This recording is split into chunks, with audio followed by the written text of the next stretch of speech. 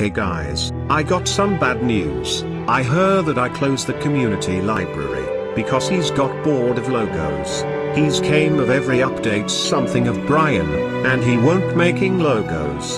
Goodbye, community library.